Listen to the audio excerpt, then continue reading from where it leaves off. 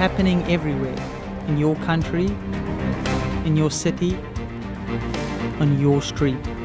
Across the globe, human trafficking is the fastest growing criminal industry.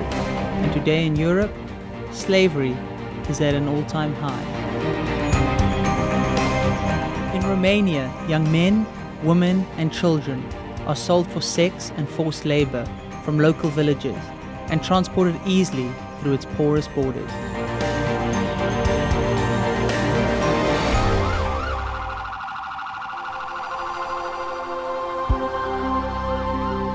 As international attention turns towards human trafficking in Europe, a wave of survivors is left in need of new futures.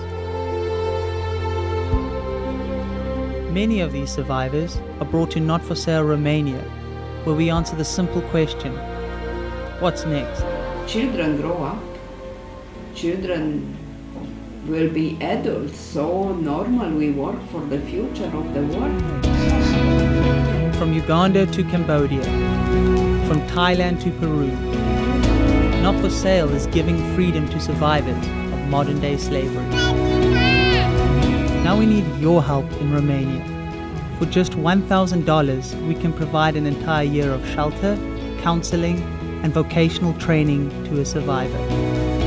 Join us in raising the $50,000 we need to give freedom to 50 survivors of human trafficking. Welcome to the movement to end slavery in our lifetime.